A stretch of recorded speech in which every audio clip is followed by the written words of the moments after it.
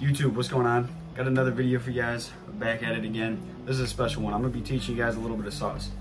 So yes, we're gonna be making some guitar loops and like just some guitar samples. But the difference is this isn't gonna be like your normal video. This is this is completely different. I'm gonna be showing you guys a lot of sauce in this video. So without any further ado, let's jump right into it.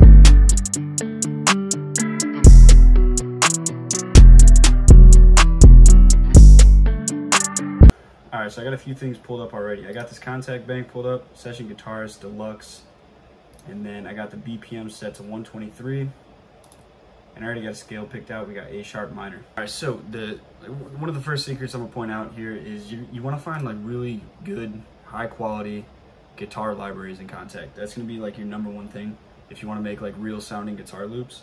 And for example, this one, this one sounds really good. So there's a there's a bunch of different ways you can use this bank.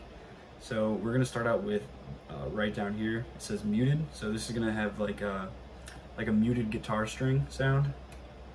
I'll show you guys what it sounds like real quick.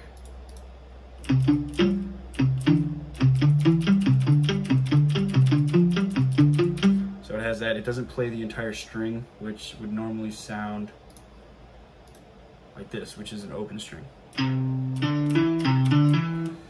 So what I'm gonna be doing here is I'm gonna find a melody, like a chord progression that I like with the muted guitar, and then we're gonna take the open guitar string and we're gonna actually make it a real chord progression with the full melody, and I'm gonna mix the two and just wait, it sounds insane. So first thing I'm gonna do is just find a chord progression. So all you wanna do here is use your ear, especially if you have these scales on, you really can't go wrong.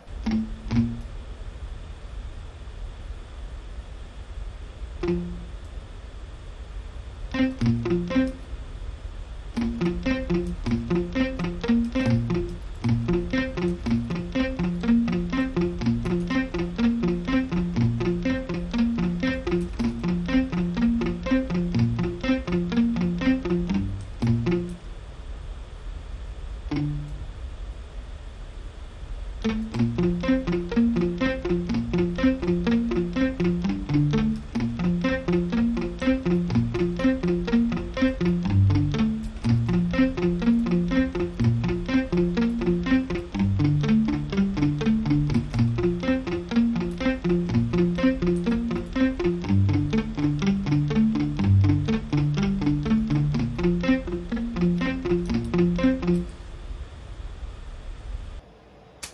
Cool. So this is the chord progression I came up with. I'm gonna play it for you guys before I do anything else, so you guys just get an idea of how it sounds.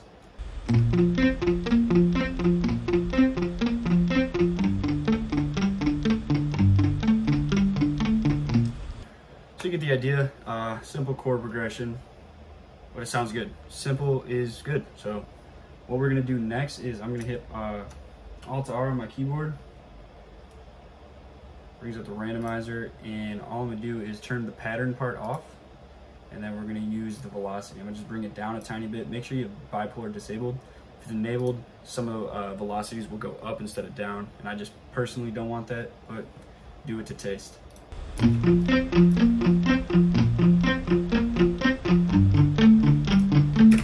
All right, so I like how that sounds. So what I'm gonna do here is, I don't want this played by the uh, plectrum. I want it played with a like it, it, it I want to play by finger basically. So now what I'm gonna do is I'm gonna just track this to the first uh, track in my mixer, and I'm gonna add uh, some reverb to this. So I'm gonna add Valhalla Vintage Verb. I'm gonna go to this preset right here, ambience, ambiance. I'm gonna turn the mix down a little bit. I'm gonna bring the decay up.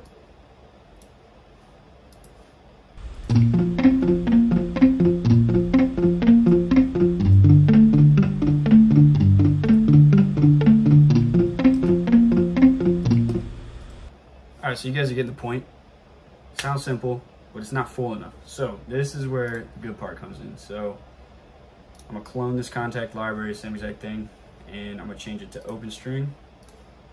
I'm gonna go in here and just copy this exact chord progression.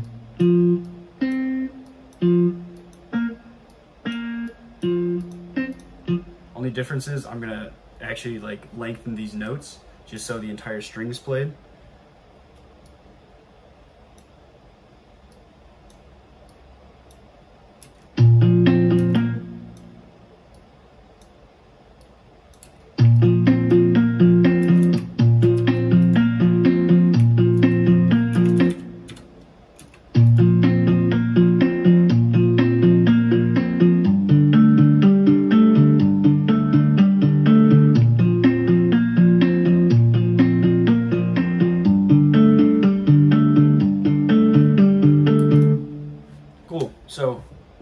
Here's another cool part. I'm gonna try and add like a counter melody. So clone the Kontakt library again. And what I'm gonna do here is this library has a vibrato, uh, like plug, uh, not plug-in, but uh, vibrato effect built into it. So I'm gonna bring it all the way up. And uh, I'm gonna just mess with it. I'm gonna add some notes and just see if we get anything sounding cool.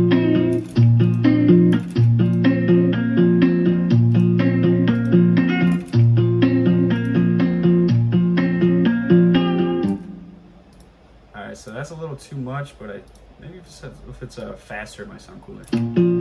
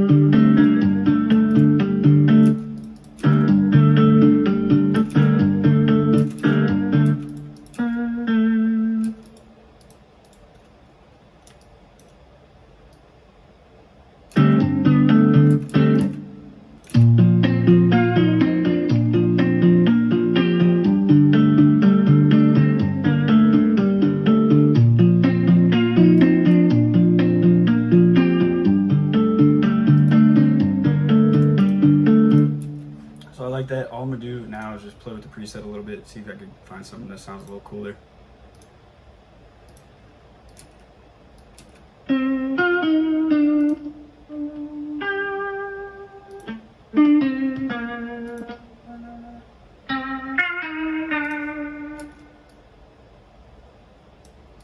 also going to change this mixer track just so in the future when I go to mess with it a little bit we can just add some cooler effects and it won't apply to every single guitar.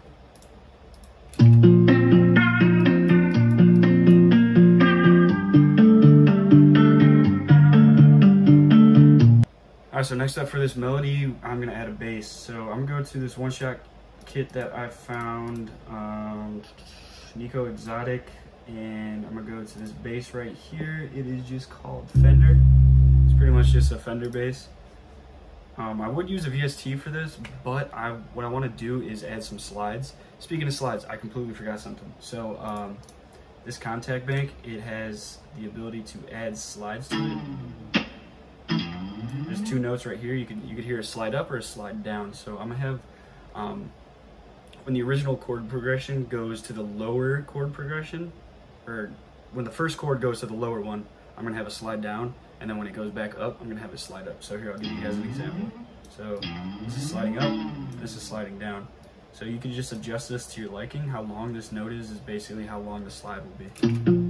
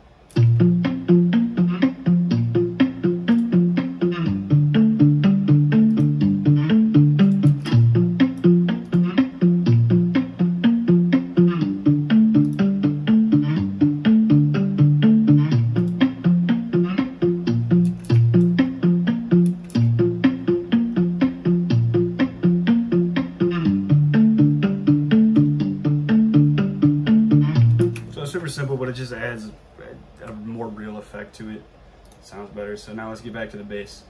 So like I said, I would use a VST, but um, I want to do slides. So you can uh, you could do VS you, you could do slides with a VST, but it's just so much easier with a one shot. So I'm drag it in, just cut itself, and for now I'm gonna just follow the bass. And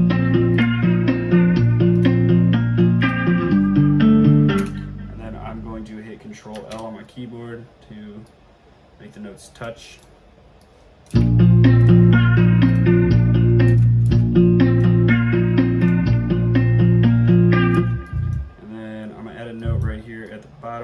For about half a step, or two half steps, my bad.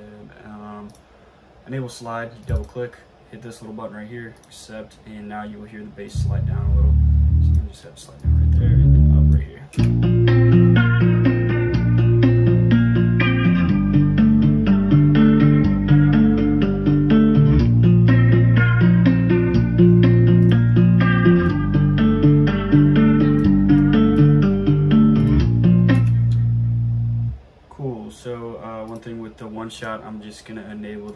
Settings and just have it hold so it only plays for when the note is playing and then it uh, instantly releases.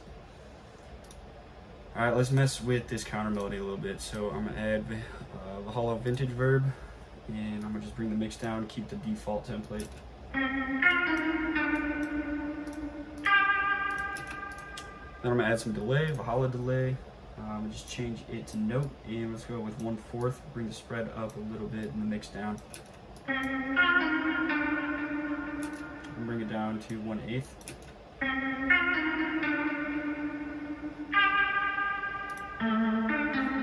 Cool. And then I'm gonna add an imager. You can do this with any imager you want. There's a, a fruity imager somewhere. I forget what it's called. I think it's stereo shaper or something. I'm gonna be using Ozone, better, higher quality one. Uh, so we'll just bring it up, and this will just send the signal further out into the stereo field. Cool,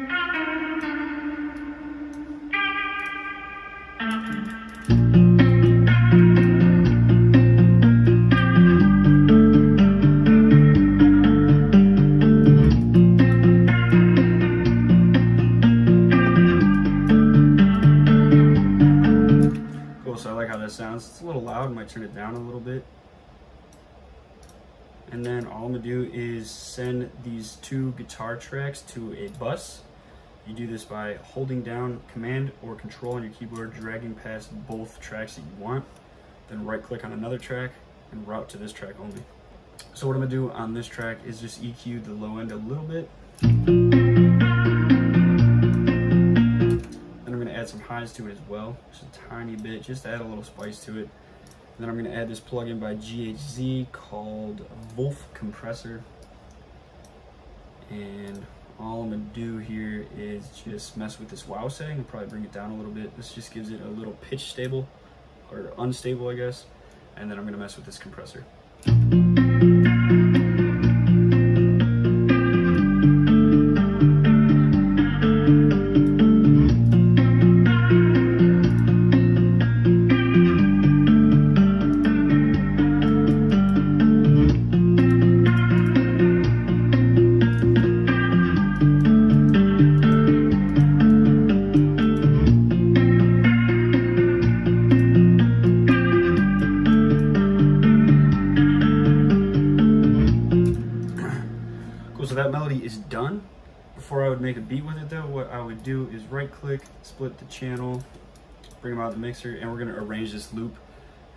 Export it as a wave.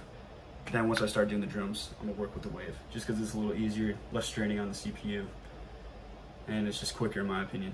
So I'm gonna just duplicate this over a bunch by hitting Control B. I'm gonna remove the bass for the first eight bars and the counter melody.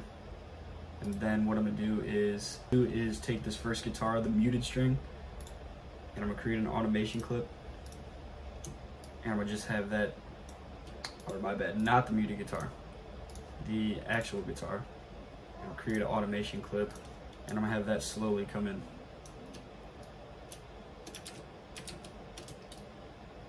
So it will sound like this.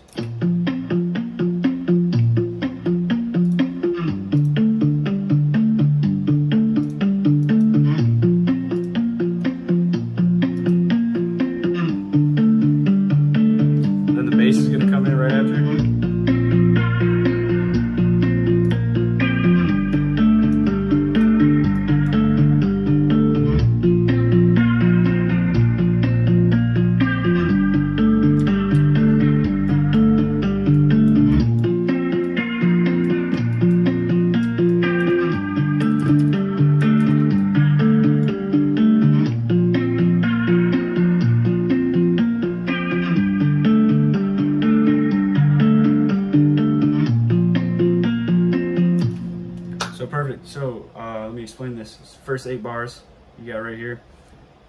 Uh, intro, anything like that. And then you can use the second eight. It's also kind of intro build up to the hook or verse. And you got your verse right here, continue into the verse.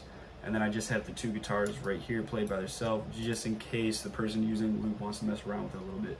So all I would do next is hit Control Shift S to save it. Name this like, let's go with, let's go with Contra, Contraband dash 123. I do the BPM and then I do the uh, uh, the skeleton, which is do we do A sharp major, I believe. Then I will save this to my loop folder, which I'm already in. Hit Control Save. Alright, just hit save. Just make sure I was in A sharp major, so don't remember. Yeah, so A sharp major, perfect. And then what we do is I hit Alt R on my keyboard, save it because the name's all good, and we're gonna do wave and MP3. And then I save tempo information, save loop markers, and save playlist makers. This just makes it so when you drag the loop in, um, everything should be set already. But I'm pretty sure this only works with the wave format, not the MP3. So I'm gonna hit start and we should be good. All right, so that project is done. We can just hit save to make sure it's saved. And then I'm gonna open a new one. Now what we do is go to my loop kit, my loop folder. All you guys should have your own. Find that loop, which we call the contraband. Make sure we drag the wave format in just because it's high quality, better, and it'll be set already. So we gotta change the BPM to 123. And then what I'm gonna do here is, um, so this is the whole intro. Oops, so this is the whole intro, 16 bar intro. Kind of sucks, but hey, the uh, artist or engineer can work with that and change it how he wants. But we already know what we're doing, so I'm gonna loop the first verse or hook, whatever you want to call it. I'm gonna drag in pattern one, and we're gonna get started on the drums. So the one thing I'm gonna do before I do anything though is make this part unique. I'm gonna track it out to mixer track two and have the one with the bass in mixer track one. This is just so I can EQ out the part that's gonna have an 808 and not ruin the actual bass. So now we're gonna go to this track. I'm gonna route it to a melody bus and just make sure it's EQ'd for an 808. All right, so now we're gonna move on to the drums. So I'm gonna show you guys my uh, workflow for drums. Pretty simple, um, really quick. So you wanna go to your go-to kit. I got mine open right here. And basically what I do is I find a clap first. This one will work. Then what I'm gonna do is I have this uh, MIDI pattern called default pattern and I just drag it on top and all this does is make claps for eight bars. So then I'm gonna go to my hi-hat and I'm gonna play the sample and just click a hi-hat to try and find one that sounds good with the sample.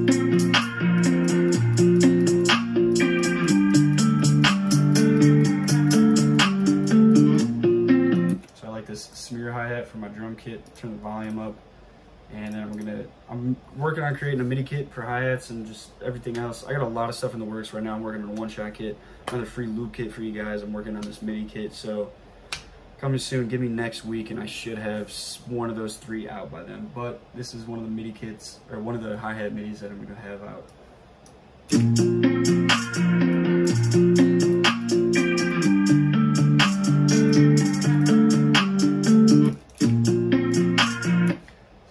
Thought with the MIDI in, I don't like how this hi-hat sounds.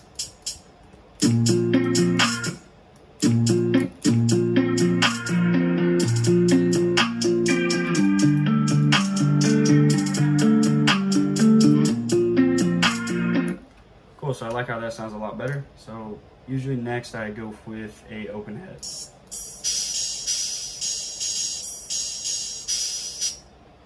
I'm using this one from Rio and I'm gonna just turn the out knob up a little bit, turn the volume down, and we're just gonna place it on the one and the four.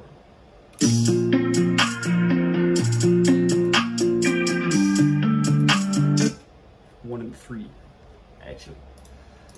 And then I'm um, gonna duplicate this over for eight bars.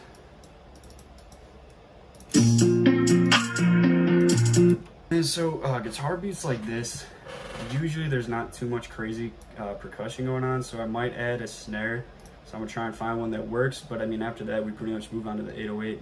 You kind of let the guitar do all the work and the drums just carry the rest of the bounce. Let's see if we can find a snare to put on this.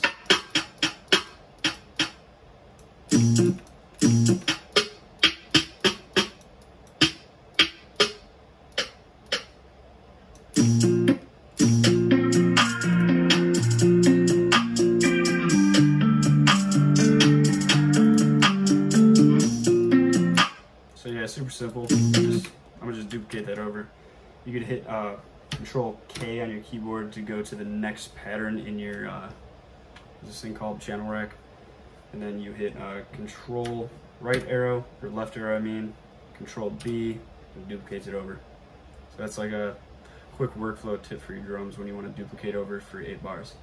So now all we're gonna do is find an 808. I'm gonna be using this one called Uzi for my drum kit drag it in, it cut itself, and then I'm gonna just follow the uh, root note. So I know the exact root note because I made the sample, but for example, say you don't know the root note, all you gotta do is open up an app called Keyfinder you can find on the internet for free, or you can get G-Tune, which is also free, which will just tell you the note that the sample is playing at that current time.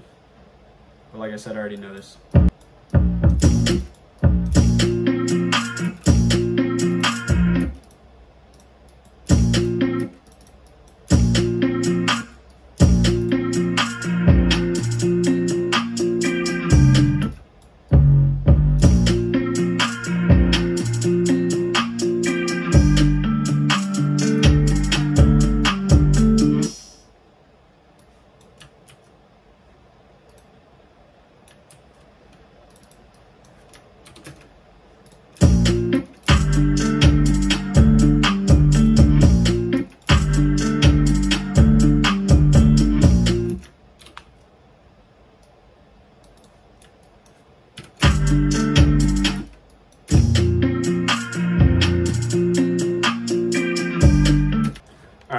Into a little bit of an issue.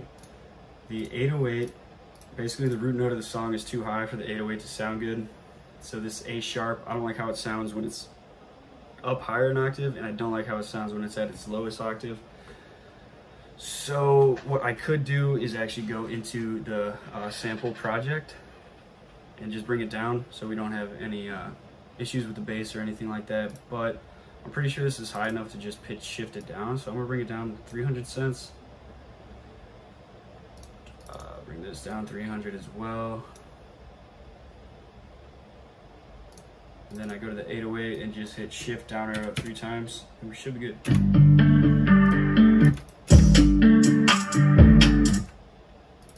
Something wrong there. Uh, three times, there we go.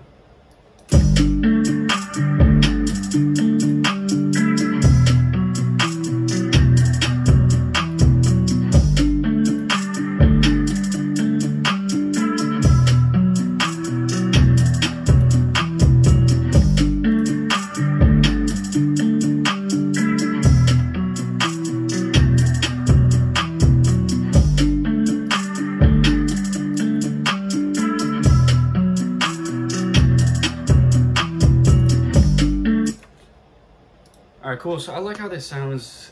It's just that 808 doesn't seem like it's cutting through. I'm gonna try and see if I can find a better one, but otherwise we're gonna have to do some EQing.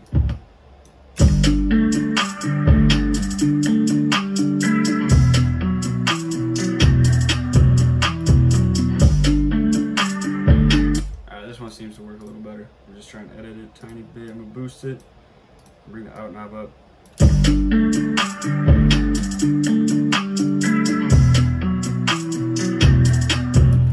So that sounded good. So all I'm gonna do now is select all these drums and route into a mixer track by hitting Control Shift L. Make sure your bass is centered. Bring this knob up right here. I'll just put it right in the middle of the stereo field.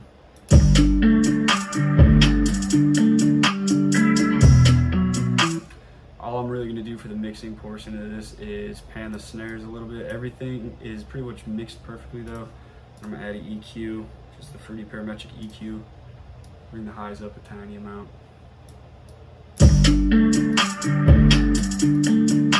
I'm also gonna EQ this 808 and just bring out that like really high part just because I don't like how that sounds.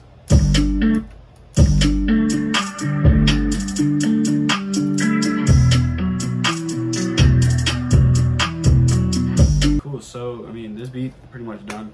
Arrangement is next, so I'm gonna split the channel. Just throw it in there like this, and basically all you wanna do for your arrangement is make sure you have an intro, an opportunity for a hook and a verse, and just throw uh, some, take some drums in, take some drums out. Super simple. But like I said, this part right here is the intro, really long intro. And then we'll have the main drop right here. Then we could do like a hook. You can do it all how you want, but I would do a verse right here. I mean hook right here, verse, verse, verse, and then just repeat it over. So basically what I'm gonna do is just duplicate the drums over. I'm gonna have them cut out just for a tiny amount right here. And then I'm gonna bring it back in but I'm gonna split it out right here and pause them for a bit. Or let's see, like this.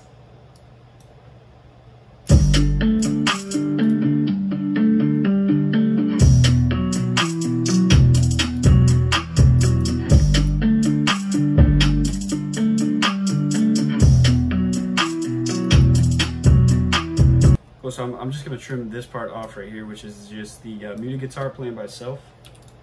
And I'm just gonna duplicate this over. Let's see, where we at right here? We're at two, so that's perfect. So all I'm gonna do is just have this work as an outro as well, but I'm gonna split this and just have the bass part play.